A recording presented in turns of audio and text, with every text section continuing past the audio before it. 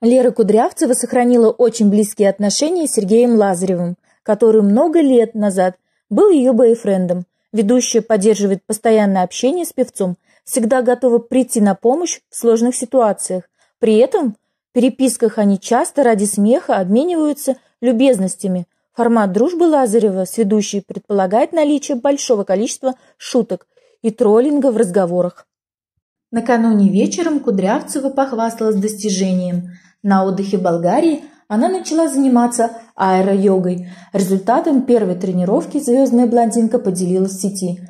На отснятых кадрах она висит вниз головой, раздвинув ноги и держась руками за гамак. Лазарев не упустил возможности посмеяться над стараниями Кудрявцевой. Он оставил ехидный комментарий под публикацией. «Ну и раскорячила тебя, Мусь!»